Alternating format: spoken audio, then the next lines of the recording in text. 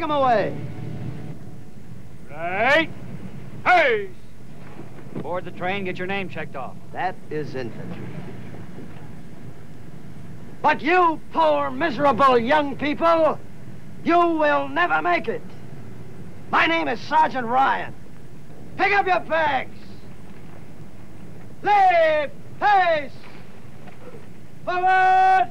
Double time! March! Three, four, one, two, three, four, one, two. We're and to the lancers wearing rifles,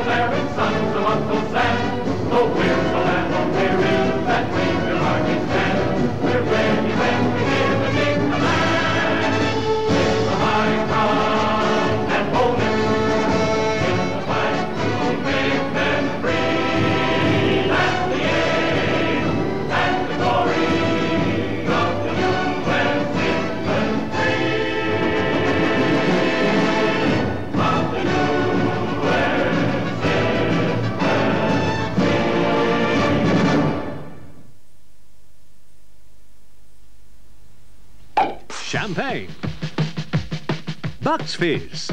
Four young people on whom all of Britain's hopes are pinned in Saturday's Eurovision Song Contest when they sing Making Your Mind Up. You gotta speed it up, and then you gotta slow it down. Cause if you believe that a love can hit the top, you gotta play around. And soon you will find that there comes a time for making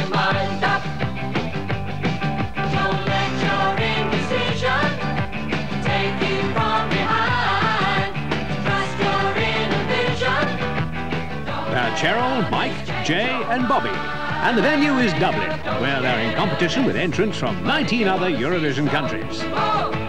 Bending the rules of the game will let you find the one you're looking for. The Eurovision Song Contest, live from Dublin, starting at 8 o'clock this Saturday night on BBC One. BBC Two is about to begin a new series with the ever-popular, abrasive New York Jewish girl, Rhoda.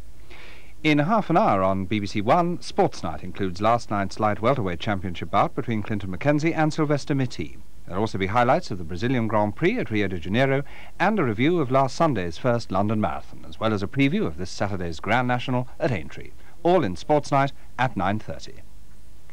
The next programme will also be shown on BBC Two at 10.40. This is BBC One. It's now 9 o'clock. There now follows a party political broadcast by the Conservative Party. I think he'd be a very brave politician who tries to forecast the future. Who at the beginning of this week would have dreamt that there'd be a brutal attempt to assassinate the President of the United States? I certainly am am not going to forecast when this recession precisely will end. What I do know is that it will end. When the Conservatives came to office almost two years ago, they said that after years of decline, Britain would need to come to terms with reality. These first two years of change have been hard, and for those without jobs, harder still. So where's it all leading? What are the Conservatives trying to do?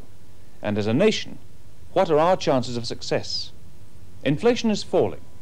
Ever rising prices not only cost jobs and erode the standard of living of us all, but debase the whole spirit of the nation. Industrial stoppages. There is now evidence of a better understanding between workers and bosses, resulting in the best strike-free record since the war. The balance of payments, the old test of a government's success. Our exporters have achieved a proud record, selling the best of British into the markets of Europe and the rest of the world. But the problems facing the nation are still enormous. So I asked Lord Thorneycroft how he sees the future. I think a politician is very brave if he tries to forecast the future. Who at the beginning of this week would have forecast that there would be a brutal attempt at assassinating the President of the United States, or even that the capitalist bankers of the West would be seen bailing out the rather bankrupt communist government of Poland? And I'm certainly not going to forecast when this recession is going to end. What I'm quite confident about is that it will end. And the objective of the government under Margaret Thatcher is to make sure that at that point we're so efficient and so productive and well run, that the benefits accrue to the citizens of this country in new jobs, trading into the markets of Europe and the rest of the world. But times are now harder now than ever before. I mean, factories are closing down, redundancies every day. Faced with this situation, what do we do? Yes. Must remember that the government took over a very tough situation. We were deeply in debt. Um, the unions were very powerful, too many restrictive practices, huge public monopolies running at a loss. It takes time to get out of that situation.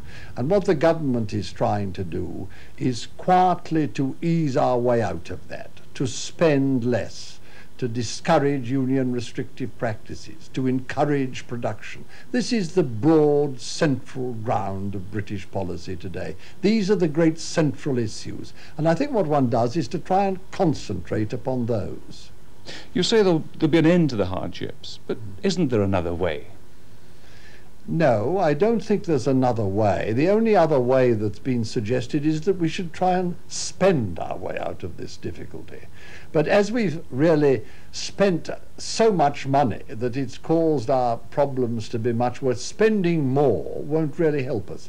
I think really today the problem lies very much in everybody's own hands. If everybody would do their own job rather better, if managements were free to manage, free from restrictive practices, if uh, unions concentrated on the long-term welfare of their members, if every small business, not now where things are difficult, but as things pick up, if every small business in this country could employ one more person, if everybody was buying anything, tried to buy something British wherever possible, the cumulative effect of all these things would be very great. Do you see any alternatives? Not really. Uh, the problems which the Conservative Party are tackling are really the great central problems of the day. These huge public monopolies that have been created, the lack of productivity, the restrictive practices and the like.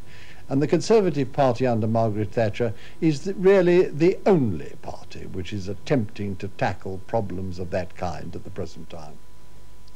If you care about your country, write to the Conservative Party, 32 Smith Square, London SW1P 3HH.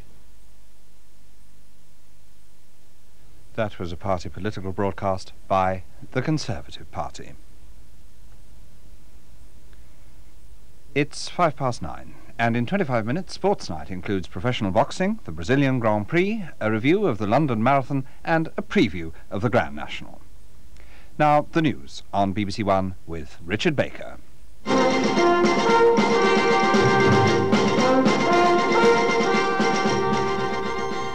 President Reagan's out of intensive care takes a short walk and deals with more state papers.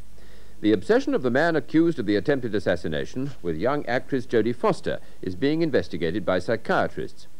In Poland, meat rationing is introduced as the country's food situation gets still worse. At home, pickets out in force as civil servants step up their campaign for higher pay. And the girls in New Zealand who tried to give Prince Charles pleasant memories of home. President Reagan is making such good progress recovering from the bullet wound in his chest that he might be back in the White House next week, according to his aides. He's out of intensive care, has taken a walk, and, in good spirits, is said to be conducting business as usual. Encouraging news, too, about the Press Secretary James Brady. He was shot in the head and given little chance of survival, but doctors are now cautiously optimistic. As for a motive for Monday's shooting, officials say letters were found which suggest the man who was charged may have done it to impress film actress Jodie Foster, copying the man in her film Taxi Driver. On today's developments, Martin Bell from Washington. This is the nation's message to its president, hung in banners on buildings round the hospital where he's recovering. And the news is as good as the well-wishers could hope for. The president was up early in his room here, working and signing papers, receiving visits from his senior advisors, and turning the hospital, in effect, into a sort of White House extension. Well, we have a full-time office that'll be set up there. Uh, started actually partially yesterday, and will be on a full-time basis today. Uh, but we'll only uh, take those things to him that uh, will require his decision, although I suspect uh, that he's going to want to read a lot of material and uh, be up on everything probably starting today. The apparatus of presidential power, communications and office equipment, even a shredder, has been moved into the hospital. The president is likely to stay there at least 10 days, and his advisers believe that his ability to get things done will not be affected. As for the investigation of the crime itself, FBI agents interrogating John W. Hinckley believe they have a possible motive, and the motive is the suspect's infatuation with an actress. Jodie Foster, now an undergraduate at Yale, had never met or known of John Hinckley. But the FBI found an unposted letter from him in which he said he would prove his love for her through an historic act. In the film Taxi Driver, Miss Foster plays a teenage prostitute. And Hinckley may have been acting out a fantasy from the film in which a disturbed young man tries to kill a presidential candidate and is made a hero by a society obsessed by violence. But if this is a society obsessed by violence, and there are those who say it is, it isn't making a hero of any gunman. Monday's shooting has touched off renewed demands for tighter gun control. The gun control debate has revived, as it does after every assassination or assassination attempt.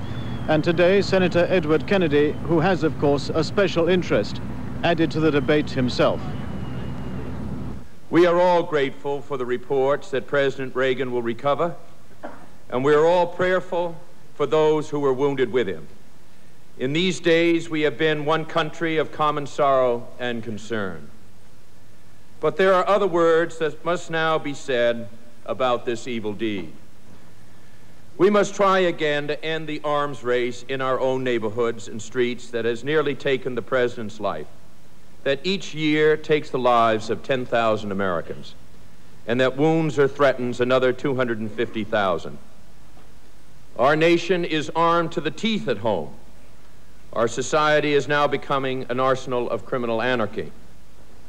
Gun control is not an easy issue, but for me it is a fundamental issue. My family has been touched by violence, and too many others have felt the same terrible force. Too many children have been raised without a father or a mother, and too many widows have lived out their lives alone.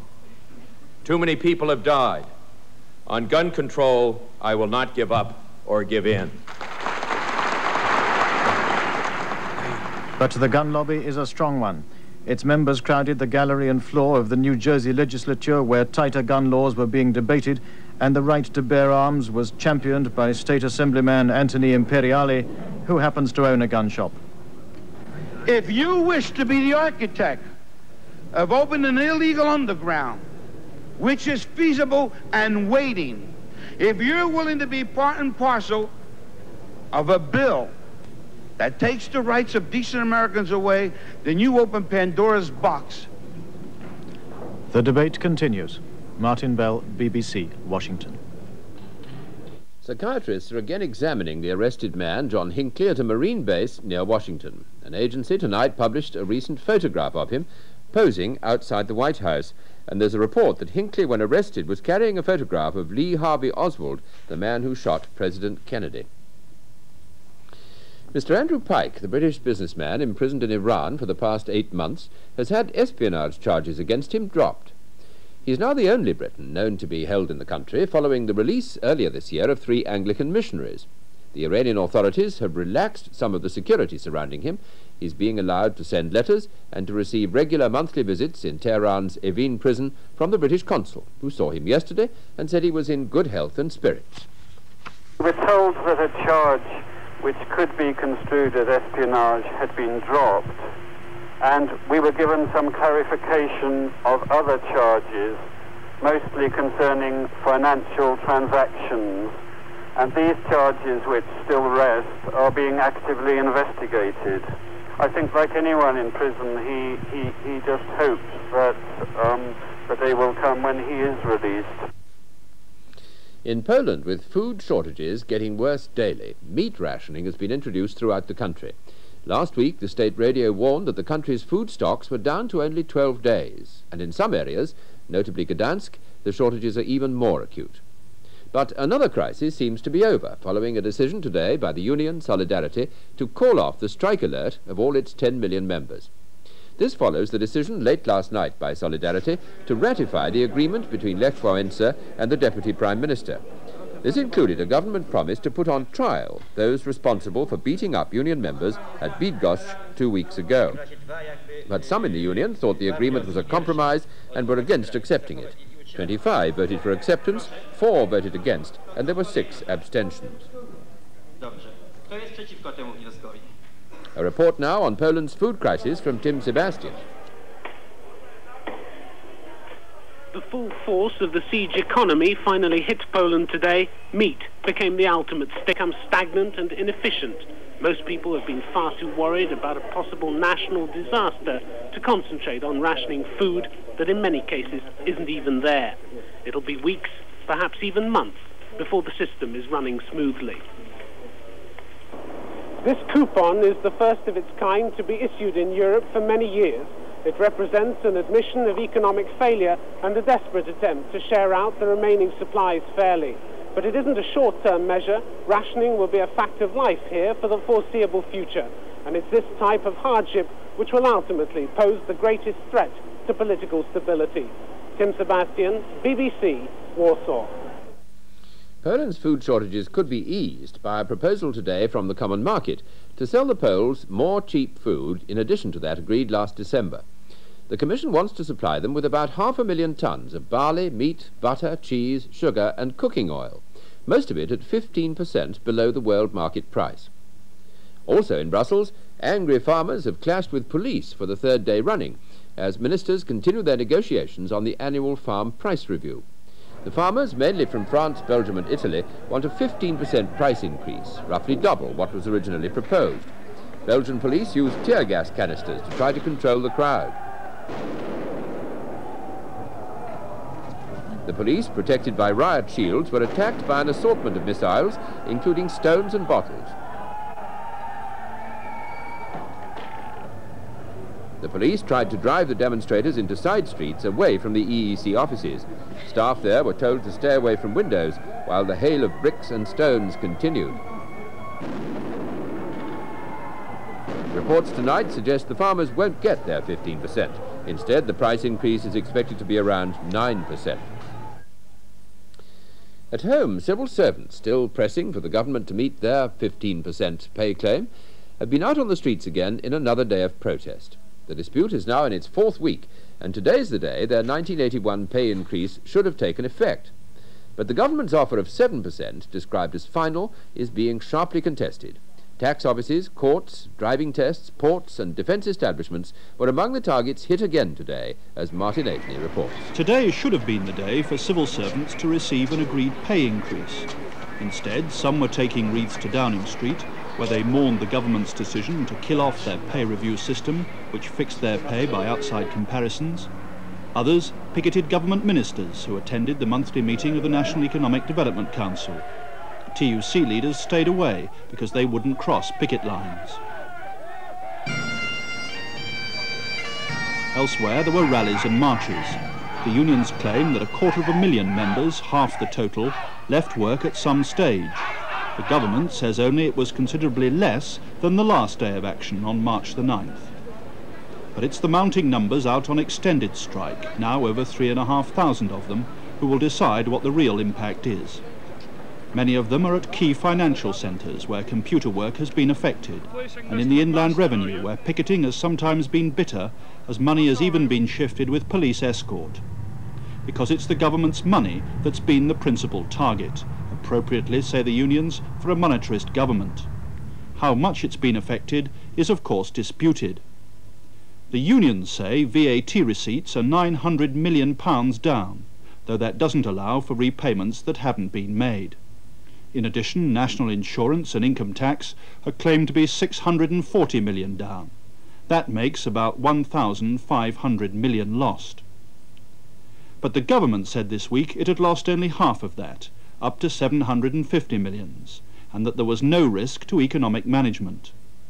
But they were warned today things will get worse. Uh, the pattern has been that the easy money for the government in any month uh, comes in a few days either side of about the 19th of the month. Any money that comes in after that span of days only comes in because a collector goes out and knocks on a door. Now, collectors aren't going out knocking on doors, they're not making phone calls, they're not trying to collect the tax. So I think that if the action is sustained over the next two or three weeks, as we're quite determined it will be, that for all practical purposes, the next three weeks until Easter, in fact, uh, there's going to be no money worth talking about coming to the government at all. Well, the government could take steps through the banks or elsewhere to get round the loss. But unions too must be careful of money. These are contributions for the strike.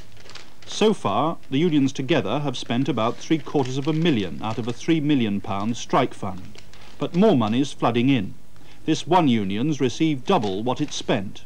So neither side is having to let up yet. The problem is that there seems to be no obvious way out for either side. The government clearly felt that with private industry settlements running at less than 10%, it couldn't give 15% or more to civil servants.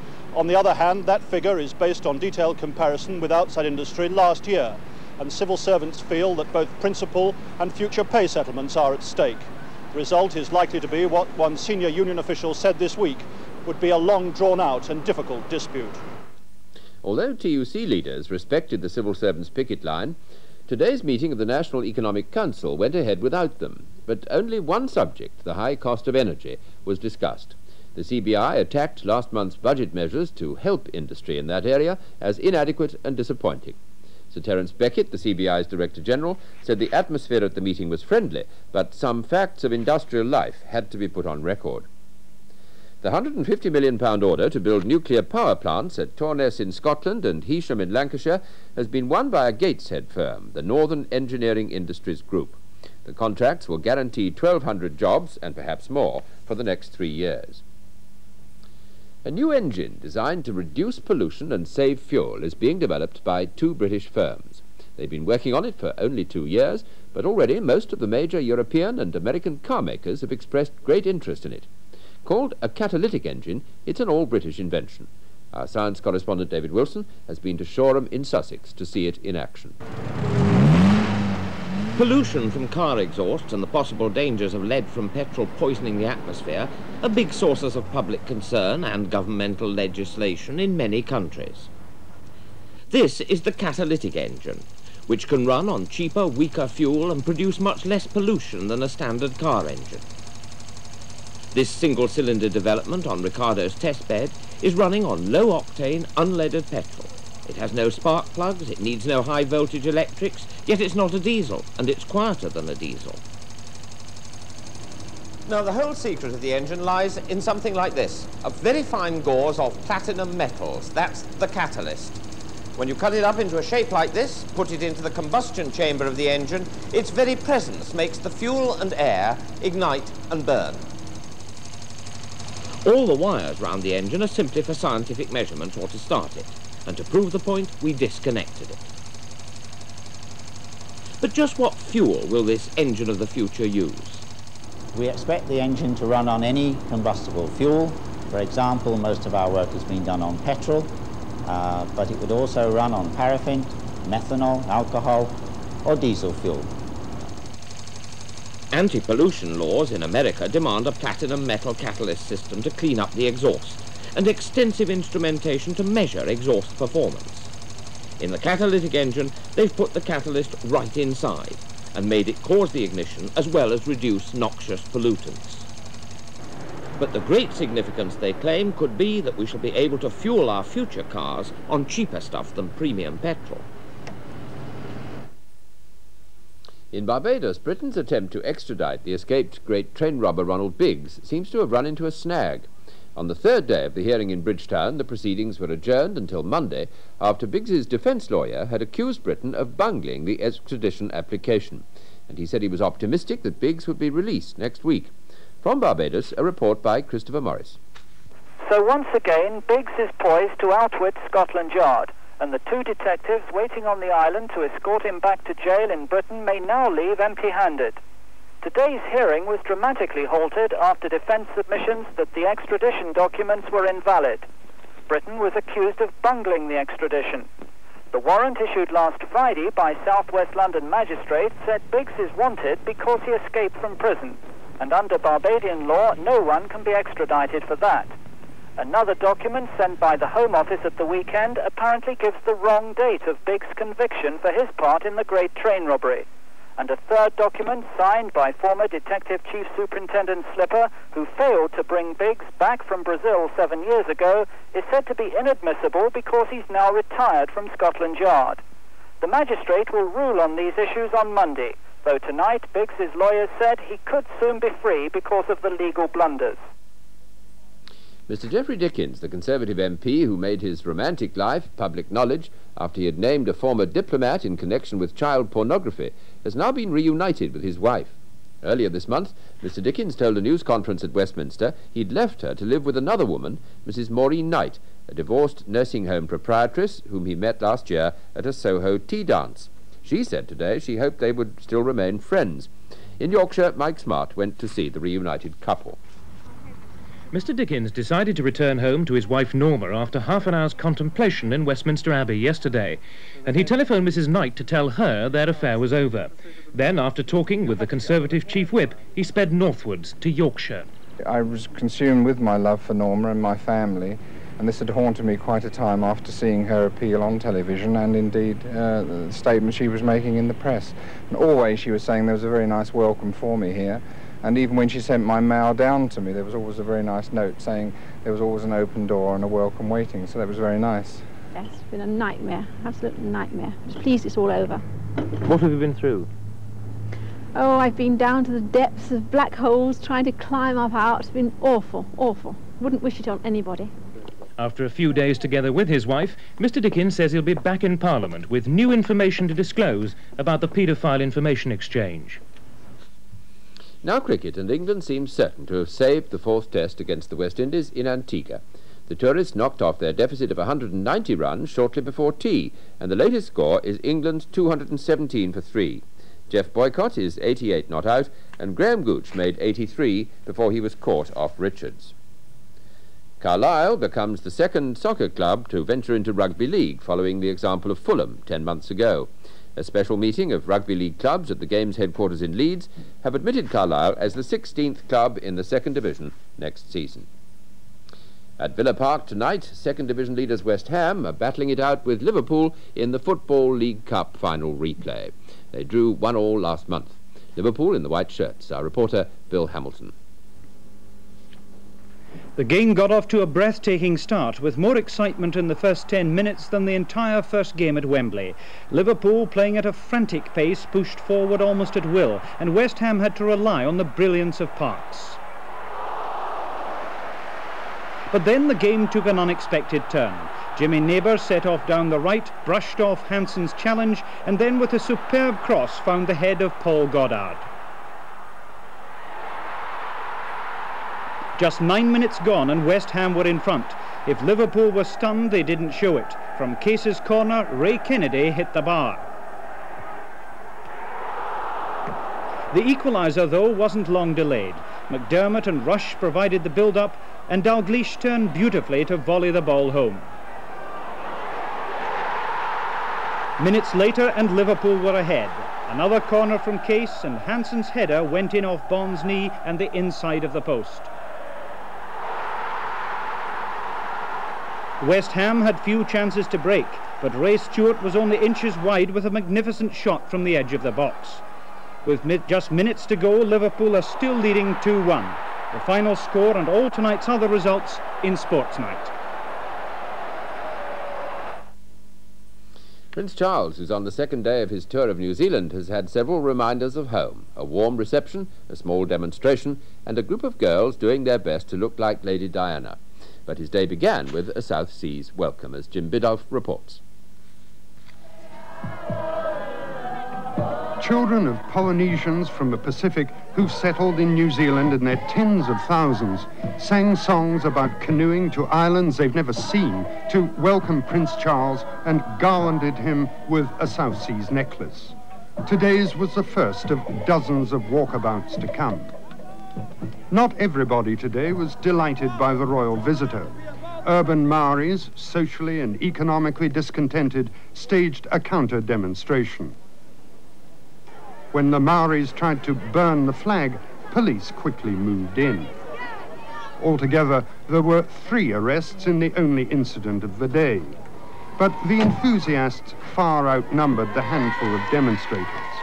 And the prince won a crowd of new admirers by gravely discussing rugby at some length with some very junior potential All Blacks. Although he's not accompanied by his fiancée on this trip, she already has a whole train of admirers of her own. The beauty salons of the capital, Wellington, are doing a terrific trade in the Lady Diana look. Jim Biddulph, BBC New Zealand. And so back to the main point of the news once again. President Reagan, now out of intensive care, is said to be conducting business as usual from his hospital room. In Poland, the authorities have brought in meat rationing as the country's food situation gets worse. At home, civil servants have had pickets out in force as they step up their campaign over pay. That's the 9 o'clock news. If you won't be with us later, good night.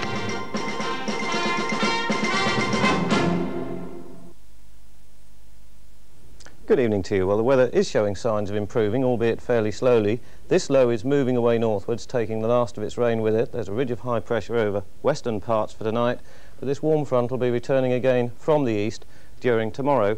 This evening's satellite picture, well, it shows how much cloud's involved with that front and the depression which preceded it during today. A massive cloud out over the North Sea. You can see the fine weather showing up over western parts where the ridge of high pressure is, and a very weak front over the westernmost parts of the country.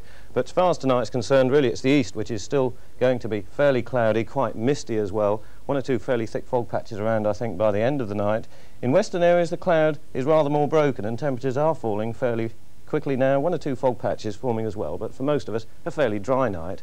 And then tomorrow, a much drier start to the day, certainly for eastern areas than it was today albeit rather cloudy and certainly quite misty with some fairly thick fog around to begin with. That's going to thin. In the west, you're going to have a fairly bright day, and in general, quite a dry day, I think. There'll be some sunshine in many areas, and just the barest scattering of showers. Temperatures up to 12 centigrade, that's about 54 Fahrenheit or so. The central areas, although there too it's going to start off fairly dull and misty, it should brighten up there as well. There'll be a little bit of sunshine, particularly later on, although some more rain in the southeast towards evening. And that's it. Tomorrow, the start of a new thriller serial, A Spy at Evening, starring James Laurenson as Tom Hart. Sacked by British intelligence, Hart is determined to regain his reputation as a reliable agent at a time of mounting terrorist activities. List of the Red October leadership. I should think that's the best information you've had on them since they started getting organized. Meanwhile, he's contracted by the general of a right-wing group to investigate the hijacking of gelignite from a French freighter. Who are you? Who sent you here? I'm a man who thinks that people who are going to lose their arms and legs at least have a right to be warned about it. But Hart soon discovers that he's caught between deadly right and left-wing extremists. It's one thing for the police and the army to push people about, but it's another when private armies begin to decide who is allowed to do what. Who says you can play soldiers? We represent the Southeast Division of Action England, sir.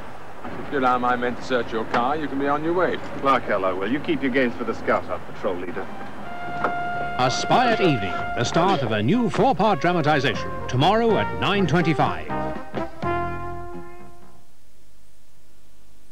At 10.20 tonight, Are We Being Served? BBC One begins a new three-part series bringing consumers face-to-face with the people at the top of some of our public corporations. Trying to connect you, tonight looks at the problems of the telephone business. Now on BBC One, Sports Night.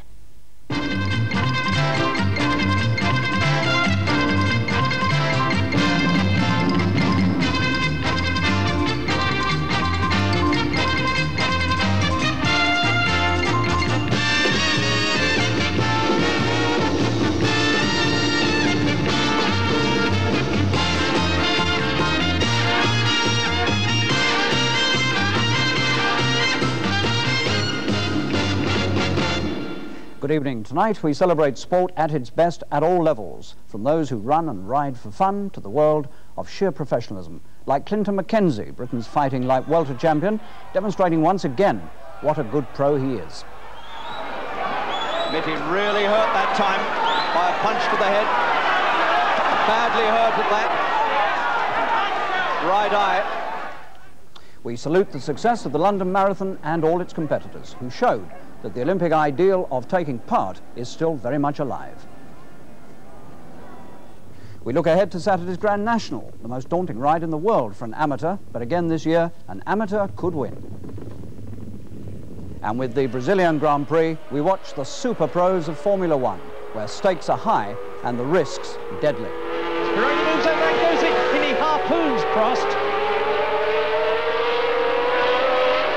Well, have boxing for in a moment. Let me just update you on that test match in Antigua. England have declared at 234 for three. Boycott, as you can see, made 104 not out. He shared in an opening stand of 144 with Graham Gooch, who made 83. But of course, time is running out now in that match. There's only a, a very short uh, time to play. It's looking to be an absolutely certain draw, which means that the West Indies will win the series. They're two up with one to play.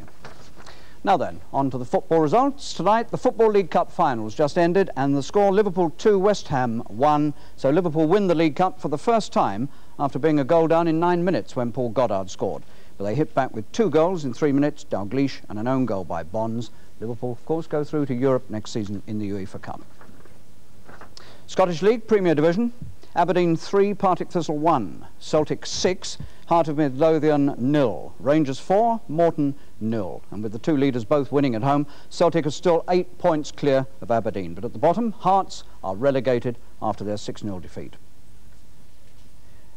Now, Division 1, Dundee 2, Raith Rovers 1. Dunfermline Athletic 2, Clydebank 1.